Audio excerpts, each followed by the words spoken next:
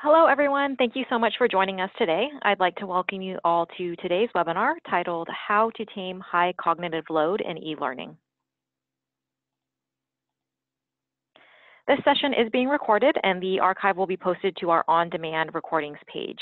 Additionally, if you did register through our free events website, uh, we will be sending out the recording link to all of those who have registered, so just keep an eye out for the email.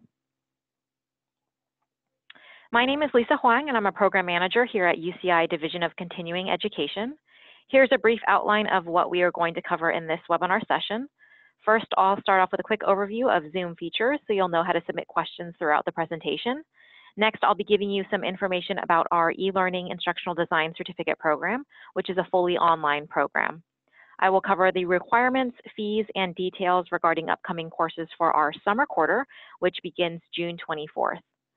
I will then turn it over to our guest presenter, Connie Malamed, and at the end of her presentation today, we will have a brief Q&A session if we have time. And finally, I'll leave you with my contact information so that you can send over any additional questions that we didn't address. If you encounter any technical difficulties during the webinar today, we will have a tech support person logging in shortly, so you can send a chat message over to John from UCI Support. In the meantime, before as we wait for him to log in, feel free to send um, a message in the chat panel over to me, Lisa, and I will try to address that and help you out. If you have a question for Connie regarding the content of this presentation, feel free to submit it in the chat panel. I see that we already have um, some people participating, which is nice to see. Um, please feel free to send your message to all panelists and attendees. That way everyone logged in will be able to see your message and hopefully we can get a, a good dialogue going, over, going on over there in the chat panel.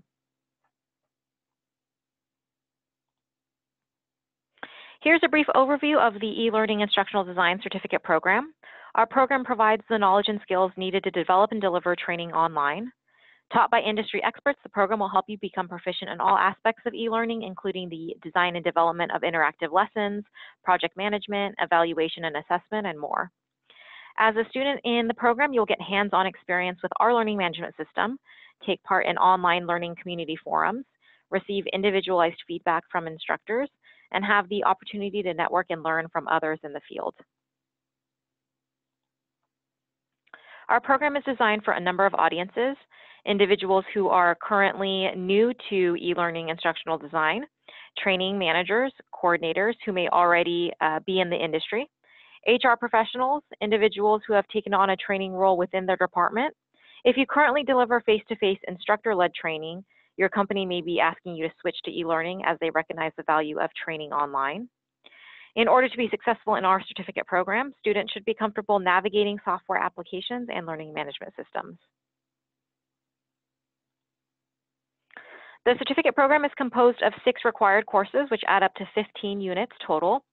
To be eligible for this certificate, students must complete all six courses with a letter grade of C or better, as well as a completed declaration of candidacy and request for certificate form. Now, since there is a small candidacy fee, I usually advise students to take a few classes in our program before they declare, just to make sure they want to complete the full certificate program. As I mentioned before, our certificate program consists of six required courses.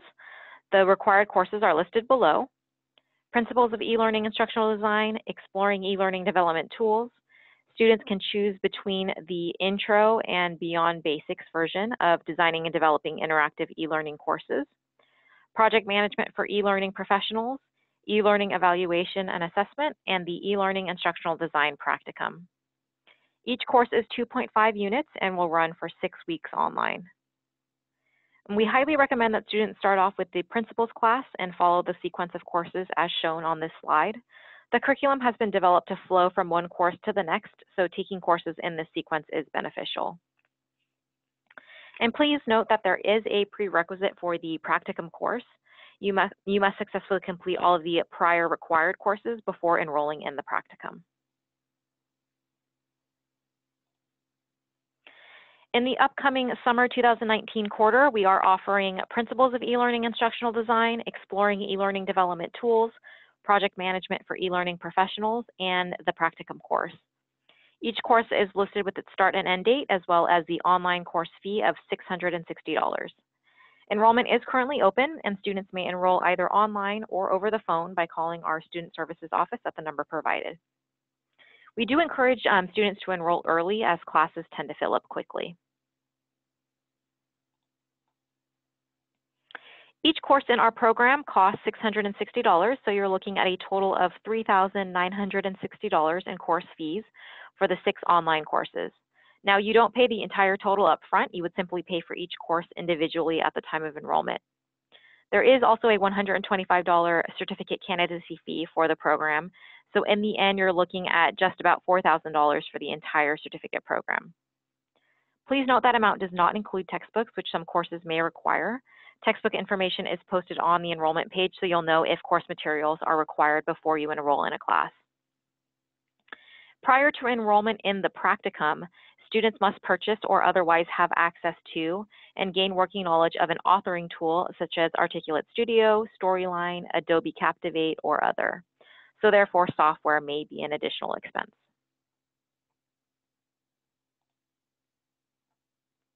And I'd like to specifically point out information about a special discount that we offer for the program. We offer 10% off course fees to members of ATD San Diego, Orange County, and Los Angeles chapters. So if you are a member of any of these chapters, please feel free to uh, visit the chapter website for more discount information.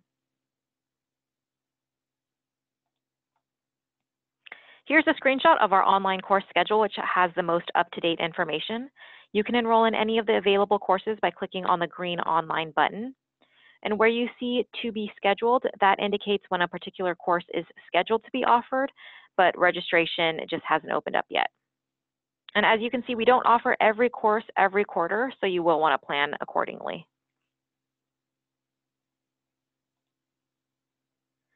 At this time, it's my pleasure to introduce our guest presenter, Connie Malamed.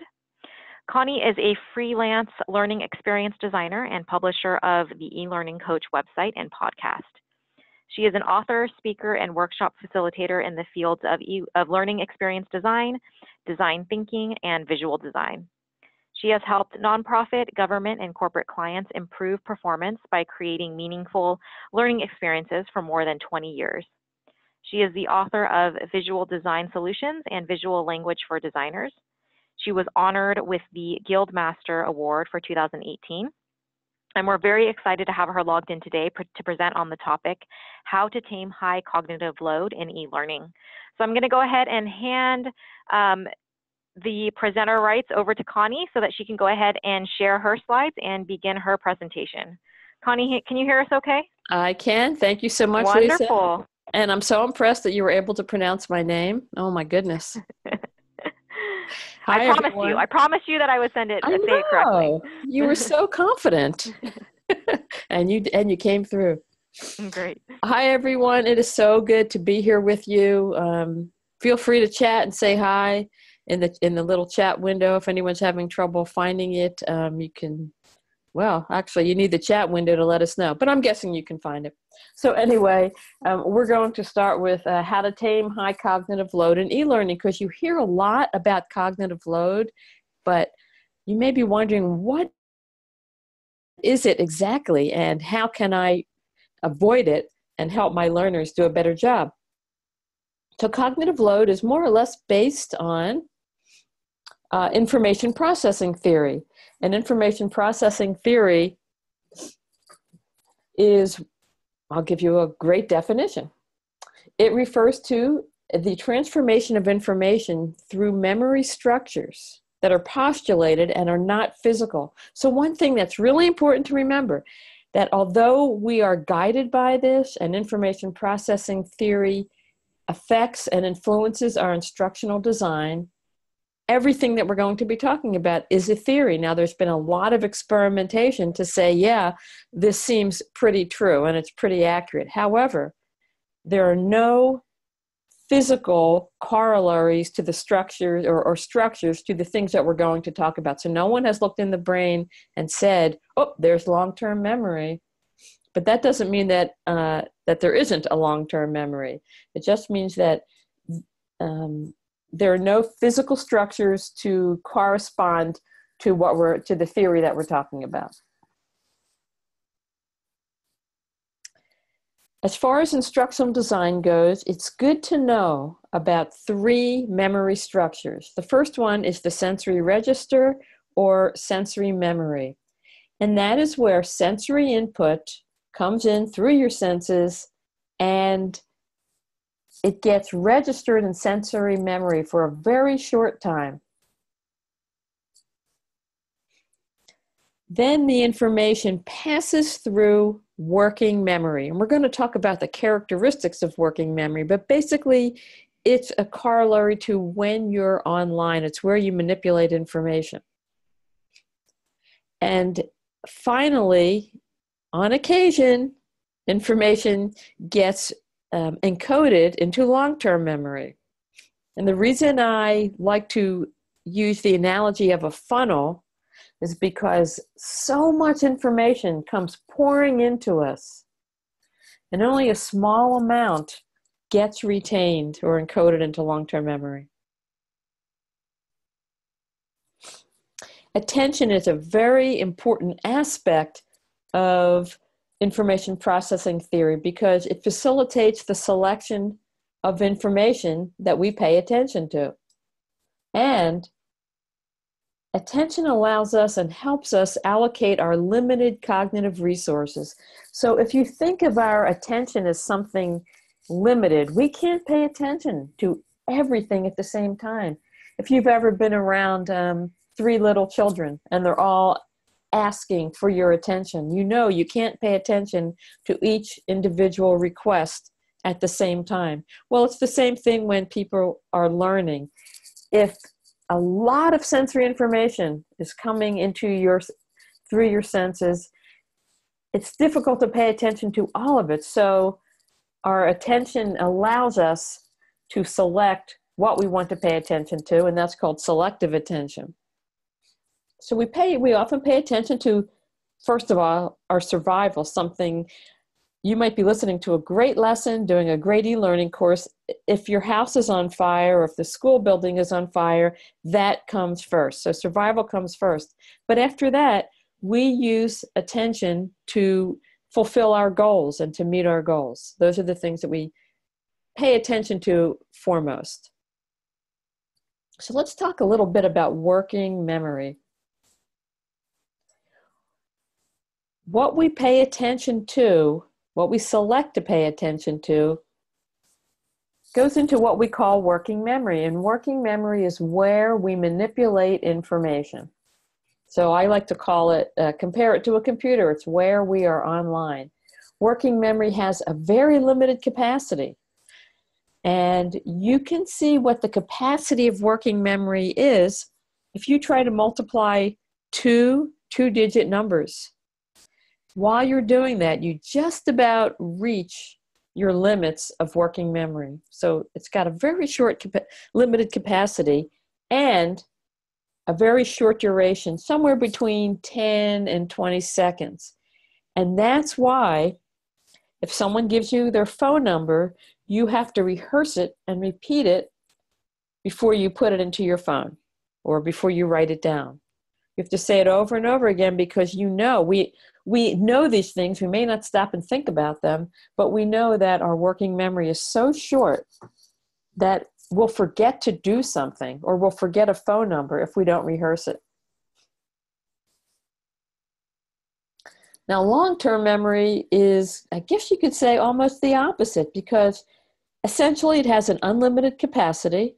No one has ever seen the end to long term memory. No researcher has said, oh, the brain's filled up, I can't remember anything else. And long term memory stores information in what cognitive psychologists think are structures that they call schemas. And schema theory is really fascinating. So let's take a minute or two or three minutes and try out something about working memory. I want to show you how working memory works. So please take two or three minutes and just read these seven fun facts about the brain. Don't write anything down, just read them over.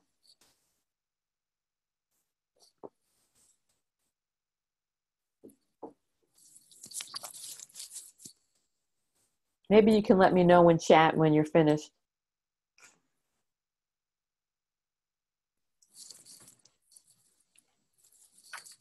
Okay. A few people are done, so I'm going to say that's good. Great. By the way, all of that information went into your working memory, and it's often the way e learning and stand up training occur. An instructor or an instructional designer will present people with a bunch of facts. Okay, now back to the presentation. Schemas are theoretical mental structures that cognitive psychologists think we use to organize and store knowledge about concepts. And people tend to represent them something like this kind of a network of knowledge, so that if you know a lot about something, you're going to have a nice, coherent network of knowledge. And when you're learning something new, you're going to have one schema over here and another schema over there. And let me show you an example of my schema. Okay, so I'm imagining that this might be what my visual design schema is like. I think about visual design, I practice visual design, I read books about visual design, I've written books about visual design, I'm super into it. So I'm going to have a nice, complete network of knowledge, and it's so easy for me to learn more. I just fit it right in there. Now, stop for a minute and think about something that you know really well. It could be raising two year olds, it could be a hobby that you have, it could be running, it could be instructional design. There's, there are quite a few things that by the time you're an adult, you have a very coherent schema about. Now, for some reason, I cannot remember the rules of American football. So I'm guessing that my schema for American football looks something like this. I just have little fragments of information. Now, stop and think about something that you know very little about, and perhaps something that you have difficulty remembering. You have maybe little fragments of knowledge, they're not networked together, so it's really hard to continue to learn about it. So if I watch the Super Bowl once every two years. And if I ask somebody what's going on, they might explain a rule to me, but I have no network of knowledge to fit that rule in. Stop and think for a second if you have something like that. Maybe you can write that down in chat. Something where you just don't have much knowledge. So, anyway, car mechanics, right. Um,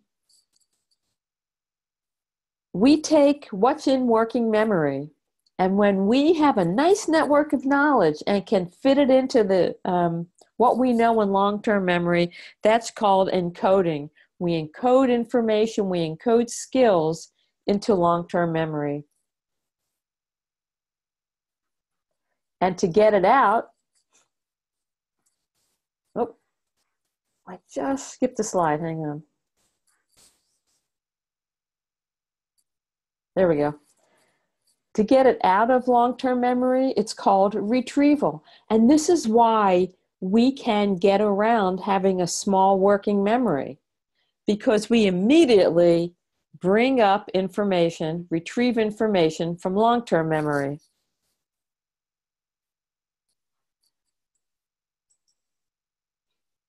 Now, cognitive overload happens because working memory is very vulnerable to overload. Not long term memory, but working memory, where we manipulate information, is very vulnerable, vulnerable to overload. Try saying that quickly. And that's when we hit the situation that we call high cognitive load. High cognitive load actually leads to poor comprehension and cognitive load actually obstructs our ability to learn because our working memory is so overloaded, we can't take in any more information. And that's why it's a problem. Now, I asked you this before, but think about what you were learning in school. What imposed a high demand on your cognitive resources? What made you feel that, oh my gosh, my brain is going to explode? I cannot remember one more thing. I cannot deal with one more problem like this. So I'll wait a minute and, and chat. Oh my goodness. Tertiary protein structures. Yes. AP. Yes.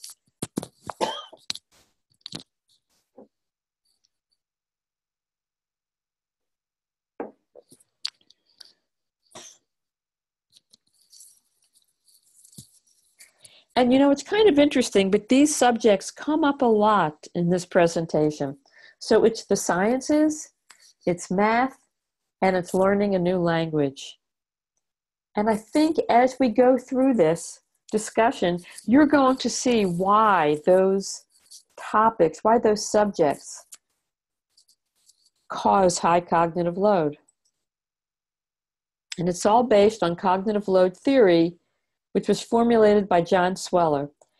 And I don't know if you're familiar with um, a podcast that I have, but I just interviewed John Sweller. So if you really like this cognitive load stuff, you will you would love hearing it from the person who developed the theory. And it is called the e-learning coach podcast. And I think it's a great resource for this presentation if you're interested in that. And um, someone else just Christy just also mentioned that she was having trouble with uh, language too. So here's what cognitive load is it's the total amount of mental activity imposed on working memory in any one instant. So, science, math, learning a new language. Here, someone's mentioning art history all of those subjects for these individuals imposed so much mental activity on working memory in every instant that it made it very difficult to learn. And here's the key thing that John Sweller talks about cognitive load and our working memory is affected by the number of interacting elements. So it's not just that you're getting a lot of information, it's that the information is interacting with each other. And I want to get into that more. So, working memory, it's thought, can handle around two to four interacting elements. And that's why when we're multiplying two digits by two digits, we almost max out. I have to kind of draw it with my hand to, to be able to do it, mentally draw it in the air to, to do that kind of multiplication. Also, it's important to remember that a person's level of experience affects overload so that a novice learner is going to have a much harder time with interacting elements than someone who is an expert in the field. And you'll see why in a bit. So let's talk a little bit about what does John Sweller mean? What do cognitive psychologists mean when they're talking about interactivity? Well, here's an example. I can learn 10 different functions in Photoshop and nothing will that and if nothing interacts, it's no problem learning them. I can learn how to crop an image. I can learn how to change the background. And all of those things are separate, so there's low interactivity. However, if I have to learn how to adjust the brightness, contrast, lightness, and color tones and how they all affect each other, that would be a highly interactive elements and that could overload your working memory. Here's another example, and I'm going to ask you to supply the answer. Let's say you're in um, a healthcare profession or taking science courses and you need to know the parts of the circulatory system. So I'm just talking about memorizing the individual parts of the circulatory system, the components. You don't have to think about anything interacting, just memorizing the parts. Can you give me an example of what would be in chat? What would be high interactivity in terms of the circulatory system? What would overload someone's working memory?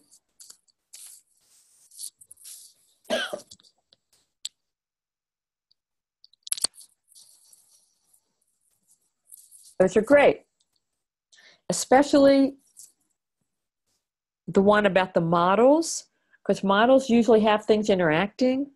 How blood flows in the body, you're going to have to understand all the different parts and how they interact. Yep, how these parts work together and with other systems. So you get the idea. Um, I suggested how components interact to cause high blood pressure. Any, all of these are correct. Anything that causes a lot of element interactivity is going to cause high cognitive load. And in that um, conversation with John Sweller, he stresses that and explains how that works. He gives a lot of good different examples. So, cognitive psychologists talk about two types of cognitive load. Intrinsic cognitive load, this is imposed by the difficulty of the learning task. So, if your assignment, you're in a nursing or medical school, or you have a job and you're getting on the job training, and you have to understand how the parts of the circulatory system work together. There's really not much we can do about that. That's a difficult learning task. However, there's also extraneous cognitive load, and this is controlled by instructional designers. This is imposed by the manner in which information is presented to learners, and this is the one that we have control over so we can control the manner in which information is presented, the manner in which um, people may have interactive activities, if we're talking about e learning, um, how we handle our multi- the multimedia in e learning. So, all of this we can control. Now, here's the ideal. Of course, it, you can't really ever 100% only have intrinsic cognitive load and with no extraneous, but we can reduce the amount of extraneous load that we put on, that we impose on learners.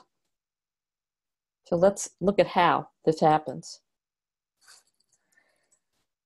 Think about e learning that you've seen, maybe e learning that you designed, maybe um, you've had to design any kind of training or you're in school for it now or you're thinking about being in school for it what bad practices do you see that add extraneous cognitive load to a learning experience or maybe even just in classroom training? Can you answer that in chat? And let's get some more people to answer. Too many concepts on one slide yes. Especially if those concepts interact. Using 20 words what seven will do Okay, another good one. Providing too much detail that is not necessary. Busy visuals. Not including a review. Information in text and audio and, and in the diagram. Using terminology inconsistently and inaccurately. Now, these are great.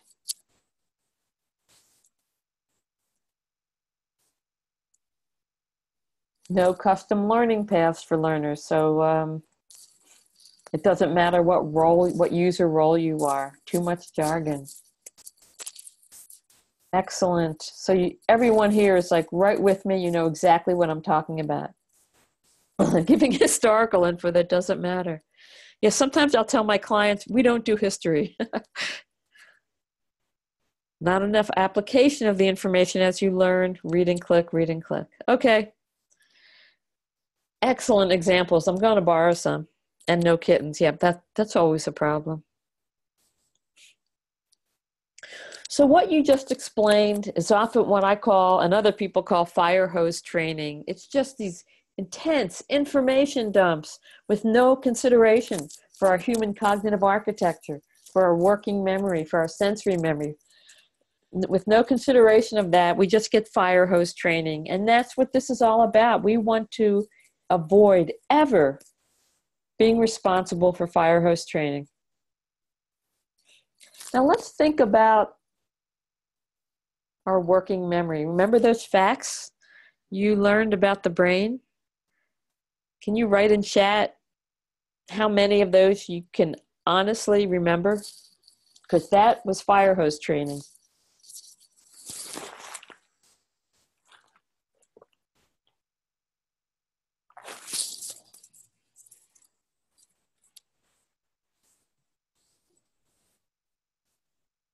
Excellent. So just think about that. So often, e learning, stand up training, YouTube videos present tons of information at people, and really, most people are remembering one or two things.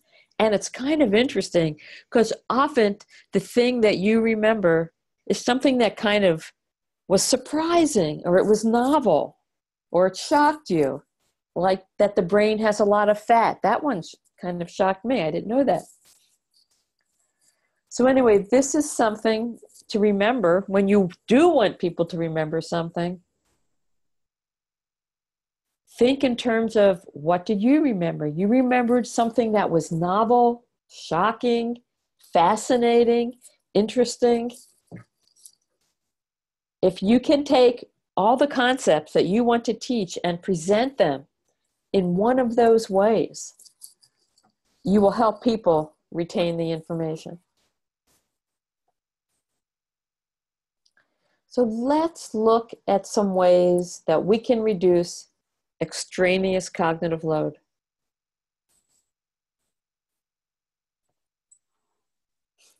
Any extraneous mental processing increases cognitive load. One thing that cognitive psychologists recommend is to enable schema construction. You help learners construct schemas to free working memory capacity. So, the way that that works is that experts are going to have whatever you are expert in. You're going to have a nice network of knowledge. Therefore, when you call information up from long term memory, you've got this nice, compact network of knowledge. It's not floating all over the place, it's not overwhelming your knowledge, it's not overwhelming your working memory. Sorry. So, what are some ways that you think you can help learners construct schemas? If you have any ideas, yep, Someone got it right. Courtney said analogies. Yes, analogies are one way to help people enable schemas.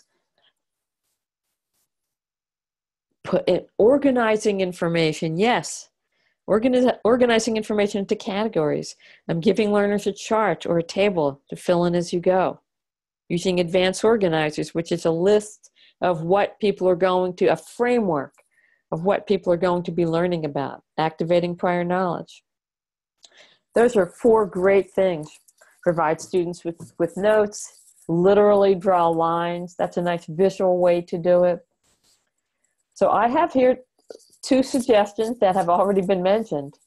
Connect what you know, connect what you're teaching to prior knowledge, and use analogies. When we use an analogy to help us understand a concept, a long time ago, when computers first uh, became popular and people were buying them at home and people were trying to figure out how did they work? How did word processors work? People would always compare them to um, a typewriter.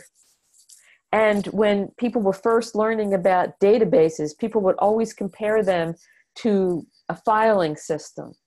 As soon as you mention an analogy people begin to understand what you're talking about and if you link it to prior knowledge and people already have an experience, as, as someone is saying in chat, then people have a network of knowledge to fill it in with. And I'll often in my e learning or in, in my writing say, recall. Recall that in the previous lesson and repeat it so they can connect that, connect the new information to the old. Scaffolding is another way to avoid, and reduce cognitive load.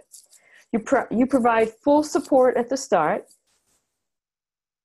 and then you intentionally fade support over time. So if you're helping someone prob- solve a problem, um, do a diagnosis, evaluate something, you provide full support You tell them all the criteria at first, and then you continually give them um, problems throughout, let's say, an e learning course until they eventually can do it themselves.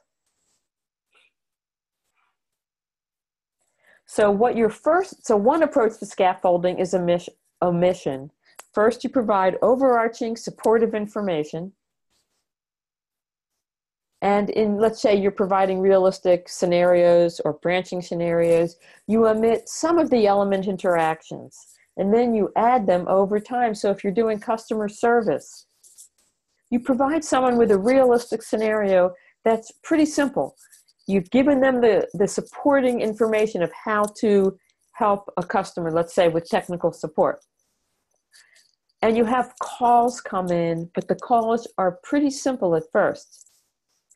And eventually, over time, you make them more and more complex with element interactions, such as here's the problem, here's the operating system, here's the action that someone did, and all these things will be interacting together. So that's another way to do scaffolding. Another way is to give people worked examples. You demonstrate how to solve a problem step by step, kind of like the first one I was talking about. Then you provide a sequence of examples that fade support over time. So you may say, um, the person did step one step two. Here's what step one and step two are. What would you do for step three? And then your next one would be here's step one. What would you do for step two and step three? So all of those are approaches are examples of scaffolding. Um, I did a course once where they were teaching doctors how to discuss medications with patient to make sure that the patient knew how to take them. But they didn't want to insult the patient, so there's, there's a certain soft skill technique to getting the patient to talk back. It's called the talk back technique. So at first, you would model how to discuss medications with a patient and then slowly fade out the steps and let the learner fill it in. Another approach is to automate schemas. So when you automate schemas through practice, it frees working memory capacity. And a great example is learning how to read.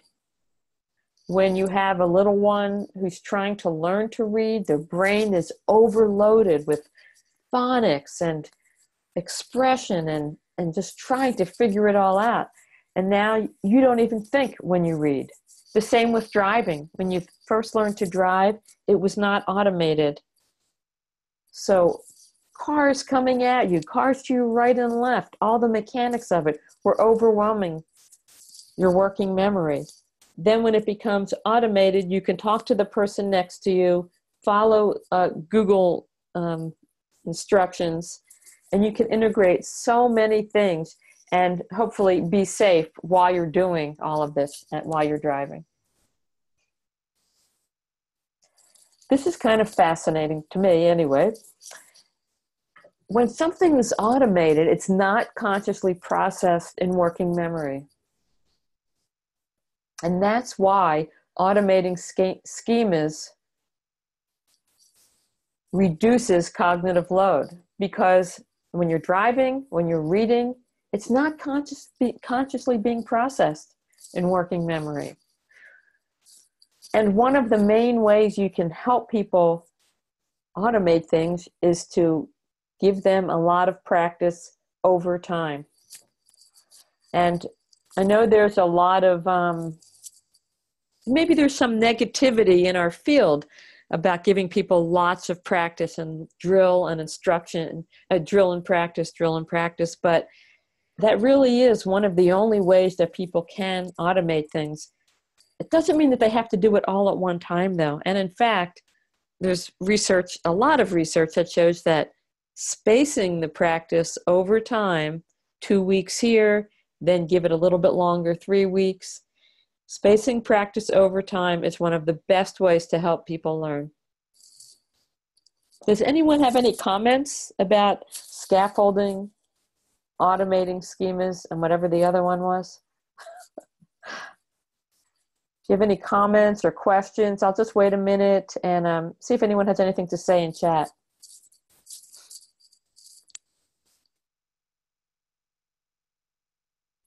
Okay, I know what this means. It means that I'm so fascinating that you just want me to continue on. All right, I will. There we go. I didn't think that was true. Um, it makes me think of Duolingo. I think they do a good job with scaffolding I know, I, I agree. Um, Duolingo is a great, I think they do a really good job. There's, there's another um, tool called Google Primer. It's just a little mobile app, and I love the way they present information. I think it's about marketing. Um, let me see. This is helping me understand why I have no working memory at times and how to fix it. I know, because I used to feel, until I learned about working memory, I was like, I felt bad about myself. I would be upstairs, go downstairs to get something and forget what it was. And then once I learned that working memory is so small, if I started thinking about something else, I was going to bump out the thing that I was trying to remember because you have to rehearse it. Um, here's a question Is automating schemas considered to be consistent with problem based learning or in conflict? Mm, I don't think I know the answer to that. I mean, I think let's take someone who reads x rays or someone who repairs cars. Um, if they do that enough, or if they go through enough problem solving, then perhaps it would automate schemas. You know, if they were doing like simulations of car repair or simulations of um, diagnosing, reading an x ray like a radiologist does. Um, but I think they would have to do so much problem based learning to um, make it automated that I don't know if you could do it, you know, unless maybe you continued something complex for a very long time. So I don't, just from, you know, I, I haven't seen any research on that, but to me, I think that it would not be inconsistent. It would be consistent. But I just think you would need a lot of that problem based learning. Uh, maybe you can look it up and see if you find an answer and shoot me an email and let me know. Duolingo does spacing and retrieval practice well too. I agree. Duolingo is a, a very good model. Um, one challenge that a lot of the organizing schema teachers may use are online apps, for instance. Um, okay. Jeanette has, if I pronounced your name correctly, um, that sometimes instead of using apps, sometimes paper and pencil is the best. And there is some research on that, that writing things down is uh, better for remembering. And personally, I'm super into the paper pencil thing. So I'm going to agree with that. And a lot of times, um, students in, school in K through 12 now are given a lot of apps and doing things on their iPads. And I do wonder about um, always doing things uh, digitally. It does because the research shows that writing things down can be good. I guess the, I guess the future will tell us. So let's look at this graphic. Someone mentioned a complex graphic. This was an information graphic I saw. It was the evolution of web browsers and technologies over time. I thought that this graphic would cause a high cognitive load in a viewer. And um, if you agree, why don't you write down why you think it would cause a high cognitive load for viewers? Write it down in chat. And if you don't agree, you can write that down too. It's not clearly understood. Yeah.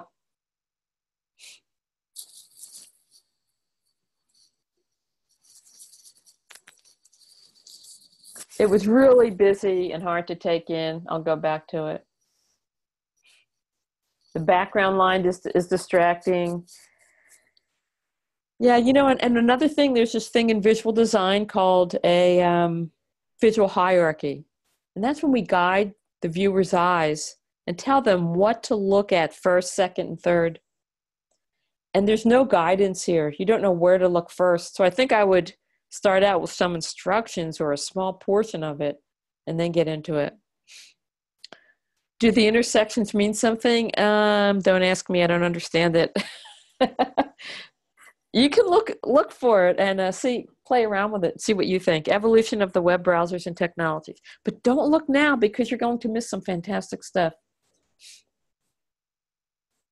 So let's talk about the split attention effect. I think anyone who is in multimedia probably is aware of this or has, or has at least heard of this, and this causes high cognitive load.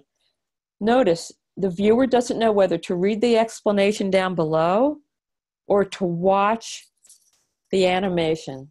So you're watching an animation and then you're trying to read it down below.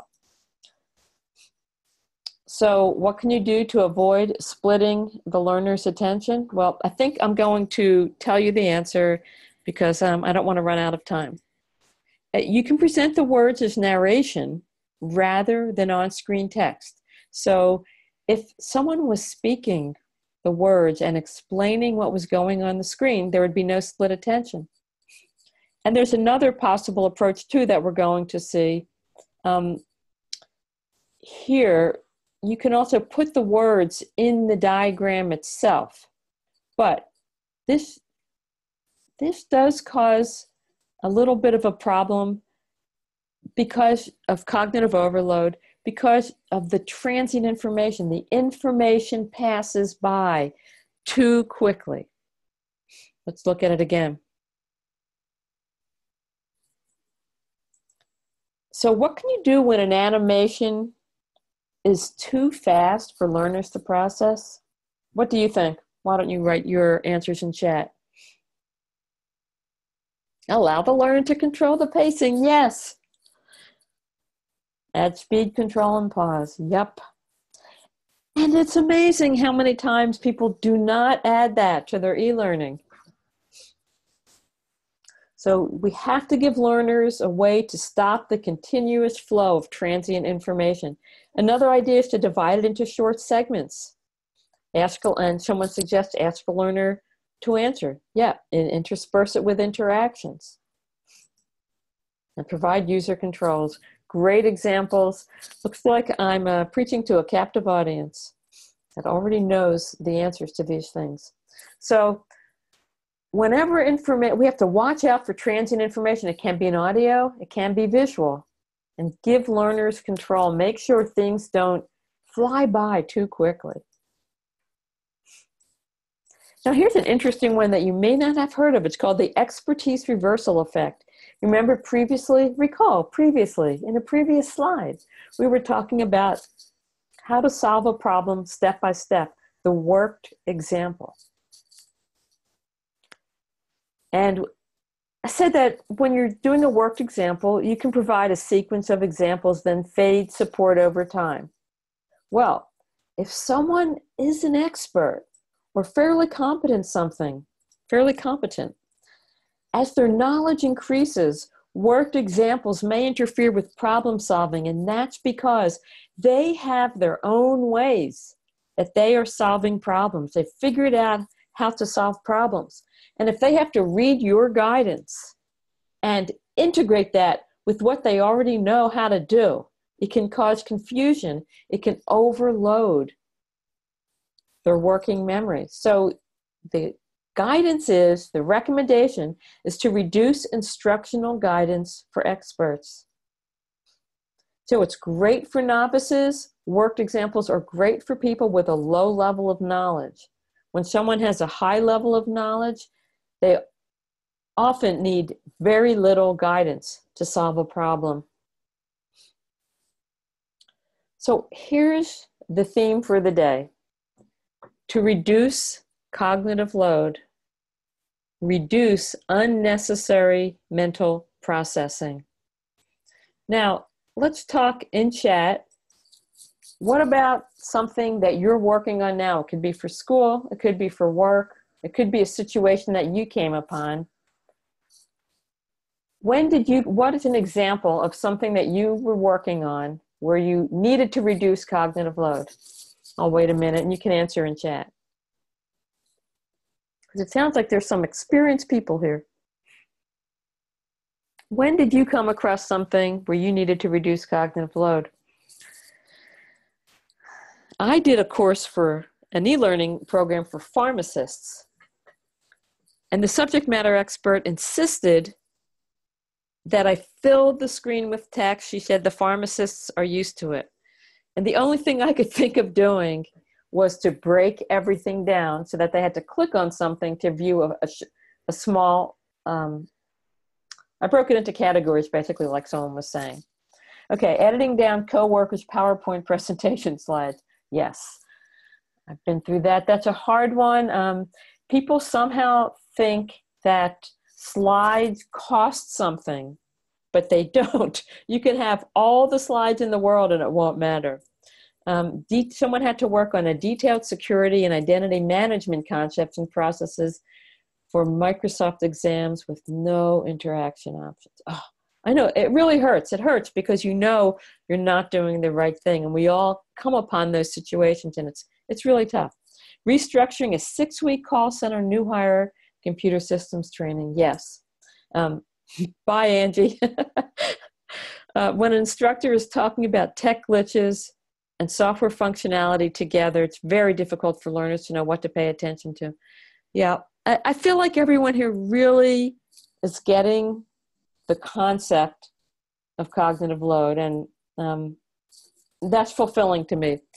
Don't forget to listen to that podcast interview with John Sweller if you really like this topic because um, it was just great. It's just great to hear him talk about it since he was the one who formulated it. So I wanted to say thank you. Um, do you have the link to the podcast? I think I have it memorized. Hang on. The elearningcoach.com forward slash podcasts forward slash, okay. I think it was 55, but it might have been 56. There you go. I'm pretty proud of myself for remembering that. Um, any other questions before we go? Thanks. Okay, Lisa has more to say though. So hang in. Great. Thank you so much, Connie, for presenting today. Um, for all of you who are logged in, if you have any questions for Connie, we do have a few minutes. Um, feel free to type them into the chat panel. I love how active the chat panel has been during this webinar session. So um, please feel free to type them there and we will try to get them answered. If you think of a question after the webinar is over, feel free to email me. I left my email address here on this slide um, and I can forward them on to Connie uh, to get a response for you. And Connie, if you want to take a moment just to see, scroll through your chat panel one last time to see if there's any questions that um, we may have looked over as you were presenting. And again, I'll leave, let me give you, let me go to the next slide here again, feel free to reach out to us um, if uh, you do think of a question later on. Okay, and I do see a question, and someone pointed something out which was actually might have caused high cognitive load. Uh, Courtney mentions that um, the nomenclature. Um, she she's heard cognitive overload, high cognitive load, and mental overload, and I think that's a good point, um, Courtney. And perhaps I shouldn't have have used all three. I do hear people talk about cognitive overload, which is the same as high cognitive load. And mental overload is kind of a term that I use to make sure people are understanding what I'm saying. But um, I think it's a good point that maybe just calling it high cognitive load would be best. Okay. Um, I'm not sure if I'm pronouncing your name correctly, but uh, someone is, I won't pronounce it, but someone is asking about germane load. And in my previous presentations, I always used to talk about germane load. And germane cognitive load is kind of like the cognitive load that is um, that the that the learning task requires people to do, such as uh, memorizing something. And as I started reading more and more um, about cognitive load, I noticed that there have been debates about whether germane cognitive load exists, whether germane cognitive load can be proven. Um, and when I interviewed uh, John Sweller, I asked him that question off the air. It's not recorded. And he said to me, he does not use the term germane load anymore. He doesn't even talk about it. Did not think it was necessary for instructional designers to go there. So I have removed it from my presentation. Excellent question. And I think the preferred term is cognitive load or high cognitive load because not all cognitive load is bad. Some of it is what you need to learn something. But high cognitive load is when you've taxed uh, your mental resources or the resources of working memory. great questions. Really, you guys have been such a fantastic audience alert, awake, smart, brilliant, experienced. it was really fun. Great. Thank you so much, Connie, for all of the information that you shared with us today. For all of you logged in, I hope you enjoyed the webinar and gained some useful takeaways regarding strategies to address high cognitive load. If you um, saw any summer 2019 courses that may have piqued your interest, uh, please remember to register early since our courses do tend to fill up um, quickly. And um, feel free to reach out to me if you want to learn more about our e-learning instructional design certificate program and adding it to your uh, professional portfolio. This slide has my contact info as well as my directors, so please feel free to reach out with any questions. Thank you again, Connie, for joining us today. Have a sure. great day, everyone. Thanks. You too. Bye.